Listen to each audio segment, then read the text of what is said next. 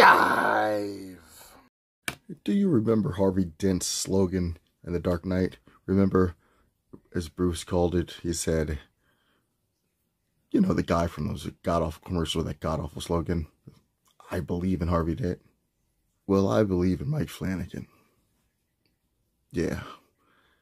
That's the easiest way for me to set this all up, is I believe in Mike Flanagan as a director, as a screenwriter, as a writer. Now, I didn't take note of Mike Flanagan until it was The Haunting of Hill House. Now, I've kept it simple in the past when I speak about The Haunting of Hill House, which was a Netflix original series based on uh, Shirley Jackson's novel of the same name. It is one of the uh, finest uh, acted, directed, written, just shot dramas that's based in horror that I've seen in my entire life. And I've seen a lot of, you know, dramatic horror. Well, I've seen a lot of horrific drama for that matter. But whew, just the way the series grips you and the way you get invested in these characters in this family. Simply put, it's just superb series. Uh, but there was a secondary series. Uh, they were going for a uh, the same repertoire of actors kind of thing. The series was known as the Haunting series, so it was the follow-up. It's called The Haunting of Bly Manor. Now, The Haunting of Bly Manor is actually based on a novel called The Turn of the Screw, a, uh, a ghost story that's been adapted a handful of times. It's been adapted as a stage play. It's been shot uh, BBC. It's uh, uh, even like the others. Uh, it, it borrows a lot of themes and borrows a lot of uh, concepts from that. So, The Haunting of Bly Manor, it was good. It was well done. The acting, everything, it was there, but it just wasn't as intriguing and it wasn't as gripping as Haunting of Hill House and that's because the story itself has been adapted and borrowed from so many times that you kind of know already what's what, but you just need to see how it's going to get there. It's going to do it uniquely, uh, but it's not to take anything away from it uh, as far as the technical achievements, the acting, and all that. But just to me personally, it's not as as uh, uh, profound as Haunting Hill House. But that was when I first noticed his name. And I'd actually watched a lot of his filmography inadvertently. It just happened that way. Yeah, it wasn't something that I that I sought out. It just happened that way. But when I heard that his name was attached to Doctor Sleep and said, hey, the guy who did the Haunting Hill House is doing Doctor Sleep, which you don't know is the uh, follow up to Stephen King's The Shining. It's the 40 year, 40 year delayed sequel, the uh, cinematic sequel uh, to, to Stanley Kubrick's Shining. But if you go back and you'll see that uh, it actually wasn't the first time that he did an adaptation of Stephen King's work. He had done the short story called Gerald's Game, which on its face, like the little synopsis just says that it was like a married couple goes away for getaway weekend and they're, you know, having fun and they're doing a little S&M type of thing where the husband handcuffs the wife to the bed and then the husband proceeds to have a heart attack and she can't get to the keys. So you got to think what could possibly go right and you think, well, how do you stretch an hour and a half film out of just a woman being chained to the bed? Well, just check it out and you'll see that it's a rather well made film. It's uh, Carla Gugino and Bruce Greenwood. Yeah. Well, if you go back and you look at his filmography, you're going to run into Oculus, which, well, now that we're here, this is all just going to lead to Horrorfest 2021. I might as well. And so it might be uh, Mike Flanagan centric right now, but this this is going to basically just be Horrorfest 2021. Uh, there'll be just films that I think are like related thematically. They work, but yeah. Let's start with Oculus.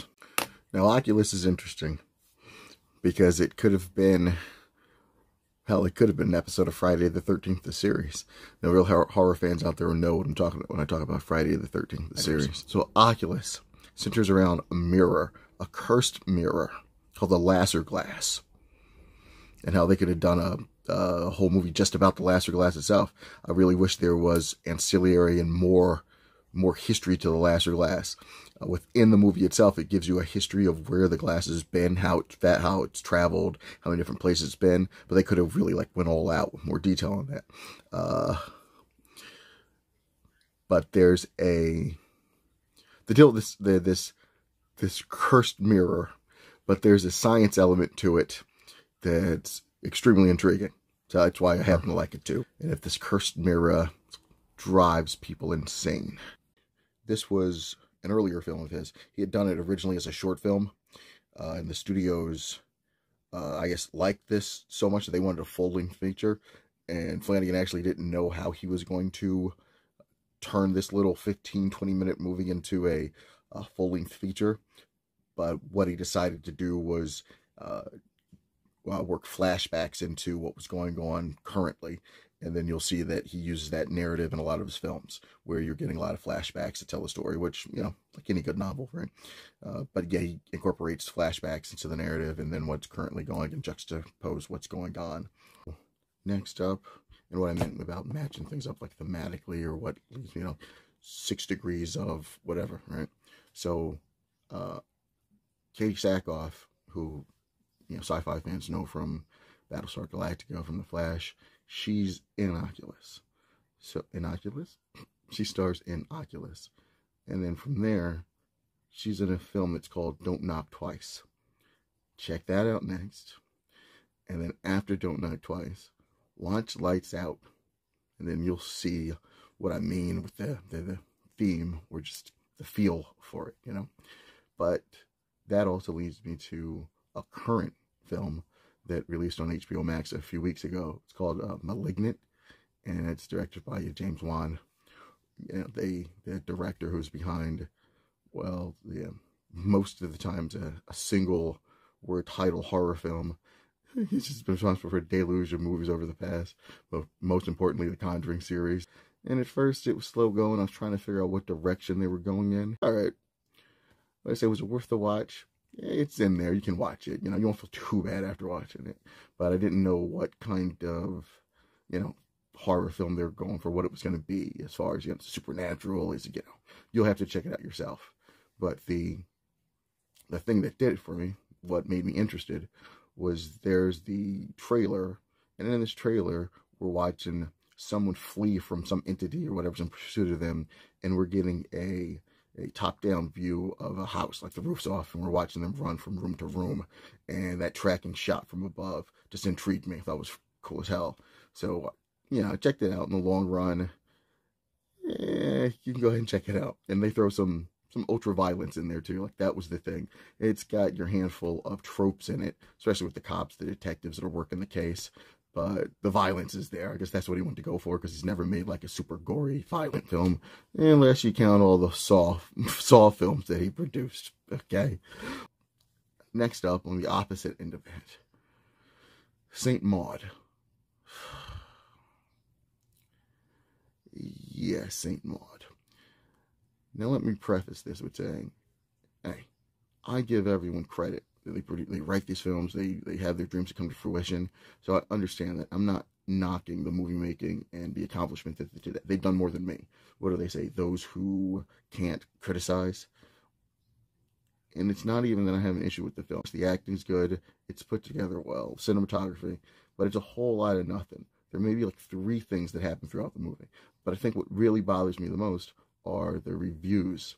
When you see little things like this, little trite comments like this, when there's completely exaggerating and then just makes you think well it's not a legitimate review. It's just a blurb from you know it's just a blurb because the film's distributed by the same like media warehouse that you know the media company that owns or distributes the film. So they they uh, throw these bs reviews out there to get people in there because cross-platform and cross-promotion, but it's A24 Films that produced it, so it was no shock to me. A24 is famous, to me at least, for doing a bunch of horror movies that have where nothing happens, like whatsoever, at all.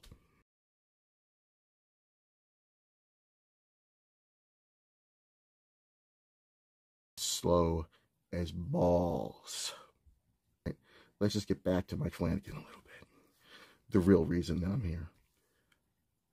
So next up for him with Netflix was, yeah, you it, Midnight Mass.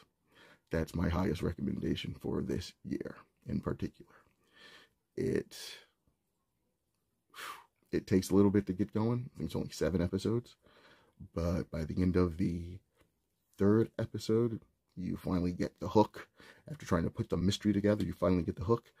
And then once the following episode ends and it's just on and you know what directions the, the film's going, you, you don't know what's going to happen, but you know where you're at now. Give it a chance. I can remember when I was watching my niece came out and she asked, well, how is it? And uh, coincidentally, the two characters are on the screen. One of them said to the other, eh, just take it slower. It's going slowly or something like that. And I was like, yeah, it's appropriate. They just answered you. But um, even though it was slow, yeah, that build up, that payoff was definitely worth it. This one I went in cold too. I had no idea it was even like on the horizon. But what happened was uh the original poster, which you see right here, the thumbnail was replaced by something I guess would maybe hook people's attention a little bit more so. And that may give away a little more than, well, it does give away more than what the original poster showed. I don't know if they did that on purpose to try and intrigue more freaking people. Without revealing anything whatsoever about the particular plot of uh, Midnight Mass. And this is this is why I say I believe in Mike Flanagan. This is what the guy has the, the knack for. It's just, like, seems like it's limitless, it's boundless. The way that he understands how to intertwine the dramatic with the horrific.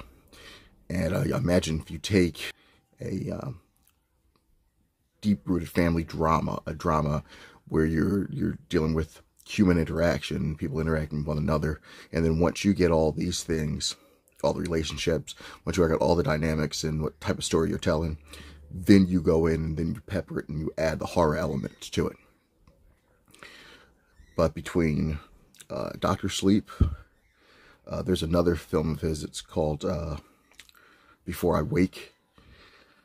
Um, and then you take The Haunting of Hill House and you take Midnight Mass.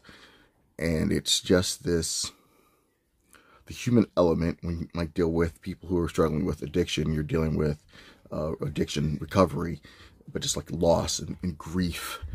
And you take all these things, wrap them together, and you pace it so the viewers are emotionally invested in the characters and the story and what's going on, and that you're waiting for the payoff. You want to see what's what's going to happen. You want to feel it whenever you lose a character. So just the fact that you could create characters in a small, short, you know, the short space of time that you can get attached to, and then when you lose them, you're, you know, number one, maybe you're not expecting it, but when you do lose them, it tugs on the heartstrings when you've only known the character for who knows 40 minutes or something like that. Coping with grief, coping with addiction recovery, and to frame it around horror, which is appropriate. But that's what he has an absolute knack for and hasn't dropped the ball we could just go straight horror too. You know, we're talking slasher flicks or whatever. But but you take something like uh, Hush. Now, I've you know talked to a couple of people about Mike Flanagan, and you know, because they wouldn't know his name right off or whatever. But if I I, I state movies and I say Hush, like oh shit, yeah, they saw Hush on Netflix, and it was awesome. I was like, yeah, that was something that he actually wrote with with uh, Kate Siegel, who's his his his uh, wife now. Uh, she's actually starred in a handful of, you know, productions with him. Uh, yeah, he's just got it. So I'm always looking forward to whatever he, he's involved with. I think the next project I saw he was involved with is a uh, miniseries based on the fall of the House of Usher from the Edgar Allan Poe classic story. And I'm stoked. So do yourself a favor this Halloween. And that's that's my Horrorfest 2021 list. Mike Flanagan centric list there with some extras thrown in there. Die. How many times did I say intrigued?